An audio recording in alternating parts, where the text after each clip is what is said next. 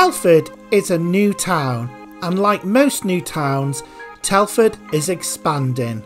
New houses are being built all over the place because there's a demand for new homes.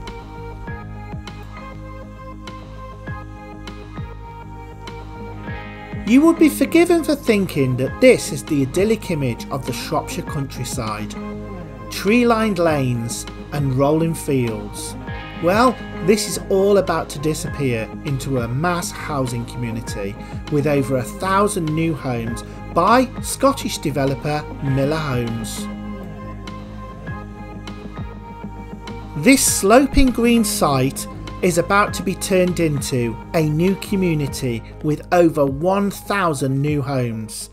The new community will include parks, sports facilities, play areas, orchards, allotments, a public square and hub, playing fields, ponds, pools, a new local centre with pubs, restaurants, community buildings, a GP surgery, and a brand new primary school will all be built.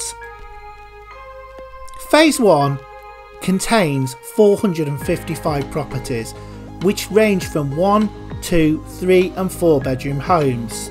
The phase will be split into smaller entities, and the phase that's currently being built is called Earls Grange, which will feature 217 2, 3, and 4 bedroom properties.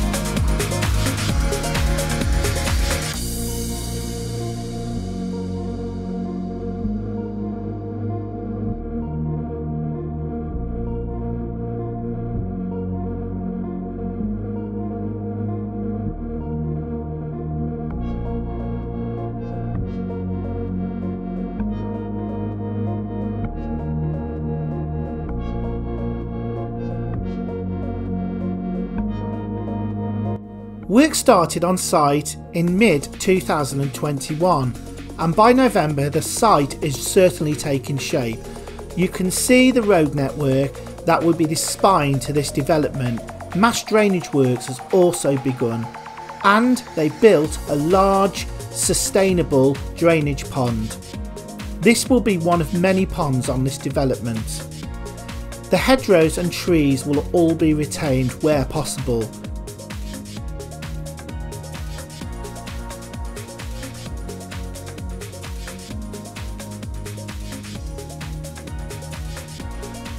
You can also see that the first homes on Earls Grange have become visible and you can see the foundation levels of the future properties that will be built here.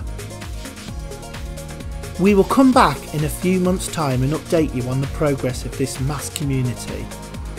Please subscribe and find out about other videos we're making just like this one. Thank you for watching.